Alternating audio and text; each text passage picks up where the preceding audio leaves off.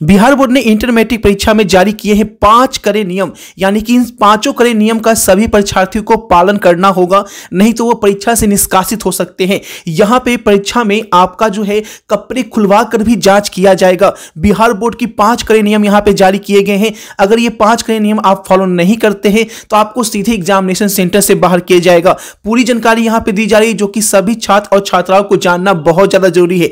अगर आप भी इंटर मैट्रिक की परीक्षा देने वाले हैं तो पूरी वीडियो बिल्कुल ध्यान से देखें। चैनल पे पहली बार है, चैनल को सब्सक्राइब करके बेल आइकन क्लिक कर ले ताकि बिहार बोर्ड की हर लेटेस्ट अपडेट आपको सबसे पहले मिलती रहे।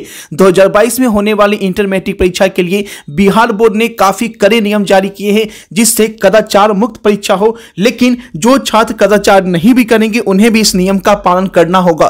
तो आइए देखते हैं, क्या है वो नियम और बिहार बोर्ड ने क्या कड़े निर्देश जारी किए हैं, सभी परीक्षार्थियों को उसे फॉलो करना होगा।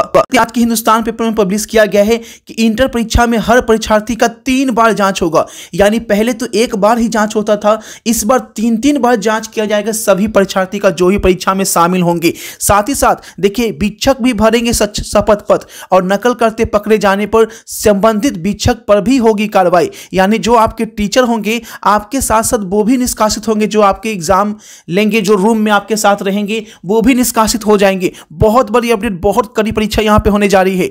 देख सकते हैं, बिहार बोर्ड ने क्या कड़े निर्देश जारी किए हैं। पूरी जानकारी यहाँ पे देखिएगा ठीक है? यहाँ पे देखिए कि प्रवेश पत्र पे क्या क्या अंकित निर्देश रहेगा। ठीक है, पूरी जानकारी यहाँ पे दी जा रही है। इंटर परीक्षा के दौरान हर केंद्र पर प्रत्येक परीक्षार्थी को तीन बार जाँच की जाएगी। दो बार केंद्र परिसर में और एक बार वीक्षक द्वारा कक्षा में परीक्षा शुरू होने के पहले जाँच की जाएगी। इसकी जानकारी बोर्ड द्वारा दी गई है। एक वीक्षक पे पच्चीस छात्रों को जाँच करने की जिम्मेवारी दी गई है। यानी एक टीचर जो है पच्चीस स्टूडेंट की जाँच करेगा। छात्रों की जाँच के बाद वीक्षकों को शपथ पत्र भरना होगा। अगर अगर इसके बाद छात्र कदाचार करते पकड़ा गया तो ऐसे में जो टीचर है, उन पर भी कार्रवाई होगी। कि आपने जाँच सही से नहीं किया? यानी पूरा आपको लेडीज़ के लिए, गर्ल्स के लिए, गर्ल्स टीचर जाँच करेगी और बॉयज़ के लिए जो है, जेंट्स टीचर जो है, वो जाँच करेंगे। ठीक है, मेल के लिए मेल और फीमेल के लिए फीमेल। आगे देखिए, क्या कड़े निर्देश जारी किए गए हैं? ध्यान से देखिएगा। प्रवेश पत्र पर अंकित निर्देश क्या है? परीक्षा हॉल में दूसरे परीक्षार्थी से बातचीत किया तो निष्कासित होंगे। यानी आपको एक दूसरे से बातचीत नहीं करना है। परीक्षा के दौरान अतिरिक्त उत्तर पुस्तिका आपको नहीं दी जाएगी। जितना लिया गया है उसी में आपको आंसर करना है। अलग से कोई कॉपी नहीं दिया जाएगा। छात्र द्वारा केंद्र में आपस में बातचीत करने, एक दूसरे की मदद करते, पकड़े जाने पर निष्कासित कर दिए जाएँगे। ओएमआर पर व्हाइटनर इरेजर नाखून ब्लेड आदि का इस्तेमाल करने पर ओएमआर रद्द हो जाएगा। यानी ओएमआर पर भी आपको कोई भी व्हाइटनर नहीं लगाना है। ना ही इरेजर लगाना है, ना ही नाखून लगाना है। गलत हो गया तो छोड़ दीजिए। इरेजर भूल के भी नहीं लगाए, नहीं तो ओएमआर रद्द हो जाएगा और आपको ज़ीरो मार्क्स मिलेंगे ऑब्जेक्टिव पेपर में। साफ़ साफ़ बिहार बोर्ड ने क्लियर कर दिया है। परीक्षा शुरू होने के एक घंटा तक बाहर जाने की अनुमति नहीं होगी। एक घंटा हो जाने तक आपको बाथरूम वॉशरूम कुछ नहीं जाना होगा। कितना भी लगा रहे, एकदम दबा के बैठे रहना है। मास्क लगाकर केंद्र पर मिलेगा प्रवेश। और साथ ही साथ आपको मास्क लगा कर जाना है, क्योंकि जिस केंद्र पर मास्क नहीं होगा, अगर मास्क नहीं होगा तो आपको बोलेंगे, जाइए मास्क खरीद के आइए। तब आइएगा, इससे परीक्षा में लेट हो सकता है, इसलिए मास्क आप लेकर जाना।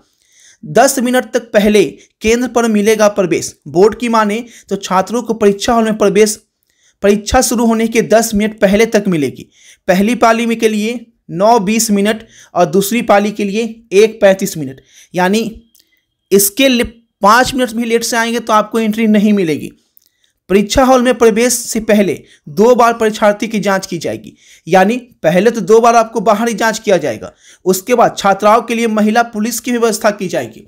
यानी अगर आप फीमेल हैं तो आपके लिए फीमेल पुलिस रहेगी और वो ही पूरा जाँच करेगी। ठीक है? मेल फीमेल दोनों का जाँच किया जाएगा। यानी कोई यहाँ पे बच नहीं सकता है। लेकिन सबसे बड़ी दिक्कत यहाँ पे देखिए ये है कि अब जो है परीक्षार्थी को तीन बार जाँच होगी। चाहे वो चोरी करने वाला स्टूडेंट है या नॉर्मल स्टूडेंट है। लेकिन आपको तीन बार जाँच से गुजरना होगा, इसलिए कुछ भी लेकर ना जाए और कुछ भी सोना गहने पहनकर नहीं जाए तो जाँच में खुलकर गिर जाएगा तो आप खोजते रह जाओगे परीक्षा खराब चला जाएगा। ठीक है? तो इस तरीके से आपको परीक्षा में शामिल होना है। तीन बार हर तरीके से जाँच होगी और जो निर्देश दिए गए हैं, उसका निर्देश का पालन करना है। ठीक है, बिहार बोर्ड की हर लेटेस्ट अपडेट के लिए बने रहें इस चैनल पे ताकि कोई भी अपडेट आपसे मिस ना हो जाए। मिलते हैं आपसे अगली वीडियो में नई अपडेट के साथ। Thanks for watching this video video को शेयर अधिक से अधिक अपने दोस्तों तक ज़रूर करें।